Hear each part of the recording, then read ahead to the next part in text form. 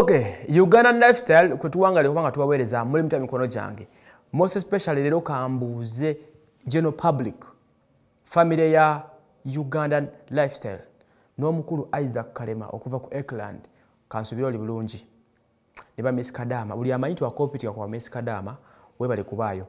Uh, project mu maaso eh, mbadde no- nebuzi personally but the end of this week nja kuba mbiteerezeza today kakati oluvannyuma lwa lwembagambyeko emabegako taata wa fresh kid ah, ah, ne mwami gashuba okubanga wawanyisiganyiza ku bigambo ku nsonga z'abaana ono yagambye oli frank yagambye taata va ku nsonga za mutabani we abasulo nga bakyali bato kati okomyewo noonyaki taata namugamba sokoze owewaka olyoka oteese frank abwana atandise kaweefube owokubanga anoonya okuteekawo enkolagana wakati we ne muwala we.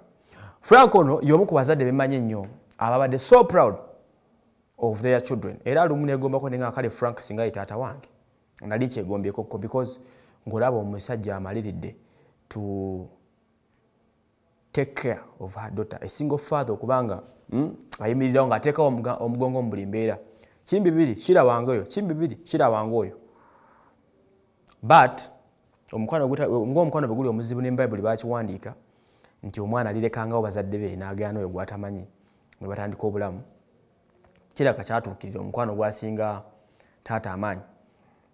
Bw'atyo mwana muwala ono yafuna omuvubuka oyo gumita gods plan taata gwayita ex convict era gwatakkiririzangamu mpaka nolwaleero okuva olwo bayawukana olunaku lumu shira yaddako ewaka ng'atamidde ng'anywedde omwenge munnyo nga bamuhangout ze ah, kazeyi n'amusala empi.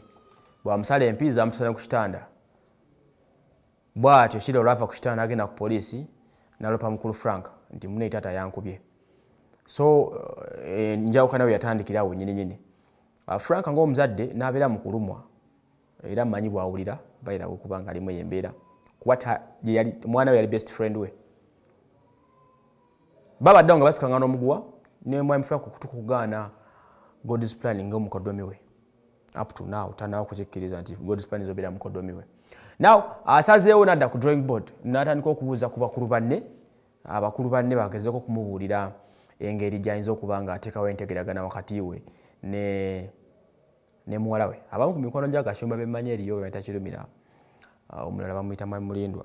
Babembwa best friends b'omusajja oyo bemmanyi kati alabika batandise okwebuuzako naabala bangi mwemanyi mu mikono gya frank. Mm. atanse obeebuuzaako bakulu banne nkoze ntya nkoze ntya nkoze ntya. Omwana yatabuka nkoze ntya. Eh, taata eh, ak'obuzadde kafukosi kakomawo. Kuba buli kira kyakola kiddira erigwe buli kira kyakola. Engeri gyekiri nti baga omwana ak- akola obyavumaganya nyina naye kati gwe nyina gwe taata we mama we tetumumanyi fe tumanyi gwe era buli kyetwogerako tetulitenga ku mama just come in. Gashumba oliwa muola otwamusanzazi nanewekaba katono ku disco newekaba kaki yakoze bino? Ye you asaze onaga munange yeekumekume alabike nti ayita bakulu banne balabe engeri basobola okuzza obulamu bw'omwana engulu budde ku layini kwakola ki? Kwabwagalira.